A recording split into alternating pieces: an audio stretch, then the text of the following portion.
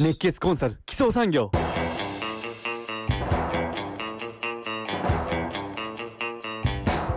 これから会社を大きくしていきたいと考えております。基礎産業ではプライベートエクイティという成功している社長さんとお付き合いがあると聞いたのですが、成功している社長さんがどんな特徴があるのか、具体的にどのようにお金を使っているのか教えてもらえますか？うん、これはまあ、うちには、えっと、10人ぐらいいるのかな、今ね。まあ、結構入れ替わりがあったりするんですけども、プライベートエクイティと言われてる、まあ、あの、人たちというか、いうのは、まあ、あの、結構事業規模でいくとですね、まあ、大体、まあ、4、5億ぐらいから40億ぐらいかな。ていうところの年商の会社の社長さんが僕の動画を結構見てくれててですね。で、まあ余分な資金をこう、要はお金に働いてもらうって、まあ利益を得たいというふうなことを考えてる方っていうのがまあ主にいるんですけども、主にどんな仕事をしてる人が多いかというとですね、順投資家が今まあ2人ほどいるのかな。で、その中でも再生系のその不動産を買って売ってっていうような人と、と、あとまあ創業系ですよね。あのリスクマネーに投資して、で、そのエグジットしてからお金を儲けるっていう人がいるっていうか。あとはまあその実業する中で自分のこう業種に合ったような人というかね、が出てきたらそこへまあ投資したり融資したりっていうのをしたいと思ってる人がいるのかな。あの、年々ちょっと、あの、こう顔が変わってきてるんですけども、そういったような主には方がいらっしゃいます。基本ですね、うちのお客さんで直接プライベートエクイティと言われてる人と会う機会が最近なくなってきてるのかなっていうのが、うちが借りて貸したりとかですね。えっと、うちの方でちょっと、まあ、こう物件を買うための資金っていうのをこう案内して、あの、集めたりっていうことをこう、あの、交通整理できるようになったからっていうのがあるんですけども、あの、過去に成功した例が、まあ、ある人っていうのはもうまちまちで、あの、これもまたなんか、今40代ぐらいか。だから、17、8ぐらいからももう学生企業みたいなことをやって、まあ今もう僕より年下っていう人もいるし、まあ多いのはでも大体50後半ぐらいの方が多いのかなっていう感じですね。じゃあ一般のこう、企業再生とか今困ってる人たちっていう人に対して、あの、どういうところでお金をこう提供してくれるというか、貸し付けてくれるかとか、いうところになると、主にこう二つのパターンがあるんですね。えっ、と、一つは、その、貸し付けるってことはあんまりやらないんですよ。あの、事業部門で、いい部門と悪い部門があった時に、その、いい部門だけをこう、えぐってですね。で、そこからお金が入ってきて、で、それをこう、綺麗に破産させたりとか。社長のこう、次を考えるというかね、家を例えば守ってほしいとかですね、従業員を守ってほしいって言った時に、やっぱりその、同業他社で M&A する先っていうのが、なかなか見つからない時ですね。あの、今さっきちょっとお話しした順投資家っていう人が、まあ、あの、2年後、3年後ぐらいにどういうふうな、まあ、利益が返ってくるのかっていうところを僕らが算定して、お金だけこう融通してくれるようなパターンが、まあ、一つですかね。もう一つは、例えば、新しくこう、事業をやっていく上において、まあ、よく介護系なんか多いんですけども、施設を買うというかね、買ってくれる人よね。例えばまあ不動産があって、でそのまあ1億円の不動産があって、そこがあのあればまあ年間その20%くらいの利回りが得られるとかね。例えばその会社がね。ということであれば、その1億円出してもらって、その10%ずつこう分けるとかですね。サブリース契約してっていうようなやり方が、まあ多いかな。あとはまあ、その、創業の部分でっていうことになると、やっぱりその人の指導を受けながら投資してもらうっていうケースが多いので、僕らも最初に面談した時になかなかこの人ちょっと、あの、要はうちのプライベートエクイティにお金出してもらったからといって、ちょっとあの作業ノルマとかに耐えられんだろうなっていうこととかが分かると、まあその場でお断りしてたりっていうケースが多いですね。まあ結構やっぱり10人ぐらいいるので、何をやってる人かとか、どういうまあ投資成功というか、その、好みががあって、どういうものに投資したいとか、融資したいっていう考えていらっしゃるかっていうのは千差万別なんですけども、やっぱりその業種というか、過去の、まあ、その人たちの人生経験に沿ったものが多いのかなというのが、ちょっとこの話の回答になりますよね。最近、令和の虎チャンネルが、チャンネル登録者もすごく伸びていて、今おお伺いしたお話でいくと、そこに出てくる虎のようなイメージを思い浮かべたんですけれども、それで間違いないでしょうか？そうね。虎で間違いないんだけど、虎の人たちと違うのは、やった後に、その、自分のところのスキームにこう取り込んでいくというかね、儲かってるスキームに取り込むみたいな、まあ、ところが多いかな。例えばまあ、建設業を新しくやりたいっていうことがあると、自分でお客さんを捕まえてくる力がこの人あるんかないんかいとこも見て、プライベートエクイティの方たちっていうのは、まあ、例えば建設系の人がいらっしゃったりすると、あの、仕事は結構そこに集まってくるっていうのが多いんだよね。だから自分の仕事を一部最初分けてあげることによって、まあ、利益をこう確保させるみたいな形ですよね。まあ、省流の中からその儲かっている会社の省流をこう分けてあげるっていう。で、それに対してこう資金を打っていくっていうケースがまあ多いかな。あの、虎と違うのは、虎たちと違うのはそこが違うと思いますよね。あの、実際こう、虎の人がこう、支援してるかどうか、そういう支援をしてるかどうかわからないんですけど、うちに来てるケースはそういうのが多いですね。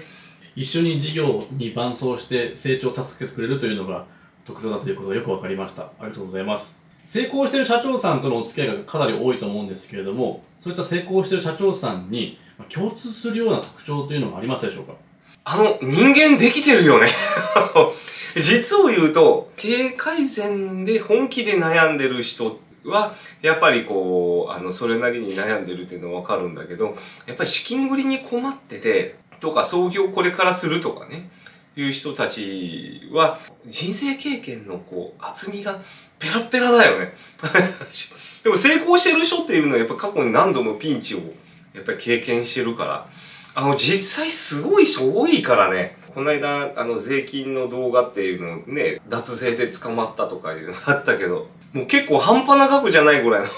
捕まったことがあって、会社の存続の危機っていうのもあったんだけど、そこを乗り越えてきて、今結構たくさんお金持ってる方とかね。そういう方は割と多いよね。人間できてる人が非常に多いというか、もう共通しているのもそれ。実際ね、僕らもやっぱりそういうところで学んで大きくなってるってところもあるんだけど、これから創業したいとか、今やっぱ資金繰りで困ってる人のその面談をしてると、あんまり人の意見聞かないって人が多いよね。だけど、基本その成功してる人っていうのはやっぱりその相手を知ろうとするというか、相手を知る力に非常に長けてるので、やっぱり人間できてる方が多いかなっていうのが共通して言えることですよね。他に具体的に、例えばお金の使い方だったりでですとか、そういったところで成功している社長さんとそうでない社長さんで違いなどはありますでしょうか？あの、経営の面で関して言うと、あの、目的を持ってそのお金を出すっていうことができてるってことと、あとはね、やっぱりその手持ち資金の中から、そのリスクマネーを打つ、もう結局再生金融とか創業金融っていうのはもうほぼリスクマネーだから、自分の資産から考えて、まあ、こう面談してね、これぐらいだったらいいかなと思うような金額っていうところをある程度もう弾き出してるケースが多いよね。例えばまあお客さんがその建設関係やってるところで1000万借りたいという話があった時に、そのまあ、えっと、社長さんが1000万を満額貸すかというと、そうじゃないとこがあるよね。こいつどれぐらい自分で努力できるのかなっていうとこ結構見てる。逆に言うとその、まあ200万円は自分でね、例えば支払い先を送らせたりとか、もらうとこ早めたりとかして、で、200万確保しましたっていうことになると、初めてそこで800万出てくるとかね。まあそういう風な考え方よね。お金の使うタイミングとその目的っていうのをすごくグリップしてるっていうのが共通したお金の使い方の特徴かなと思うね。私もよく相談で、自分の会社が大きくなっていく、こう絵が描けないと言いますか、そういう将来を描きにくいという方、かなりいらっしゃいまして、そういった方たちに、どのように自分の会社を大きくしていくかっていうところを、簡単にロードマップを描くとしたらどのようになりますでしょうか？これはね、よくこう投資家というかが好む案件っていうのがあるのよね。大きくなった時に利益率が上がるというか、ね利益額がもう上がるというか、いうのがもう見える事業っていう。まあいうか、これ介護系の事業で考えたとしようか。えっと、まあグループホームだったら確かマックス20人までだったよね。だけど、それを逆に言うと、まあ自分とこまず20人確保できるという、まあロードマップを作って、まあ例えば年間1000万とか純利が上がるとかね、いうのがあったとしようか。だけど、その人が、その、あの、相談支援とか持っててね、別の事業で。で、相談支援を持つことによって、そのいろんなグループホームにこう、を作ってあげるというか、そういうことができるってことになると、自分のところで、その、要はコンサル業みたいなものを立ち上げてね。んで、経営顧問料で、あの、吸い上げていくみたいな、ような仕組みを作るから、そのグループホームを立ち上げるコンサルというかね、あの、自分の、こうやりたいって人のためにね、研修に来させてさ、で、そこを送り込んでいくみたいな。で、自分が相談支援でそこをバンバンバンバン投げるみたいなね。で、そこを必ずまあ、その資金がついてくる代わりに初期投資で1000万ちょうだいね、みたいな。いうような事業を起こしたいんだっていうことになると、20が40になって、60になってっていうと、固定費はそのままで、要は、あの、純利が上がっていくじゃない。こういうふうな仕組みをまず作り込むのよね。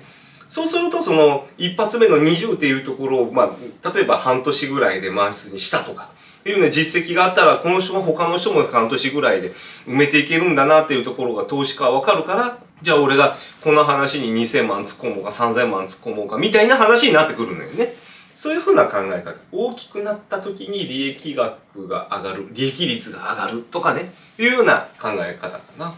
この考え方を作り込もうと思うと、本業でどの部分に強みがあるかっていうとこよく精査しとかないといけないんだよね。ここが今も例えば資金繰りとかはそんなに困ってるわけではないんだけど、あの、ロードマップが作れないとか、どういうふうに大きくしていったら、効率的に大きくしていったらいいかわからないとか、資金があったらこんなことができるのにみたいな人がいらっしゃればですね、今あの、1万2000円のメンバーシップ、 Zoom でグループコンサルやってます。ご興味のある方は、まず下の概要欄のところにリンクを貼っておきますので、こちらからちょっとお問い合わせいただければ、まずあの、私とあの、 Zoom しましょう。それはあの、無料でやってますので。で、それでちょっと話してみて、あ、これじゃあちょっとやってみようかっていうことであれば、契約を YouTube 挟んで契約をさせていただいて、あの、秘密保持契約巻くので、あの、銀行名とかそういったところも全部、あの、実名で私も話しますので、お客さんの方もこの銀行のこういう担当者だみたいなこと実名で相談できるような環境を作ってます。そこにやっぱり成功してる会社の社長さんも出てくることがあると考えられるので、今の現段階でね。まあその中で、あ、こういうやり方もあるのかっていうようなとこを考えながら、ブラッシュアップしていければと思っております。あとですね、今、ちょっとこう、考えがあって、あの、大きくするためにこういう資金調達したいとかね。例えば今、こう、資金繰りがしんどくって、どういうふうにまあ収益化していきながら経営改善していけばいいのか。そのためにお金がちょっと足りないとかね。そういうことであれば、まあ自分のところも金を持ってるし、いろんなやり方でこうサポートできると思いますので、この上の電話番号か概要欄のリンクでお問い合わせいただければと思っております。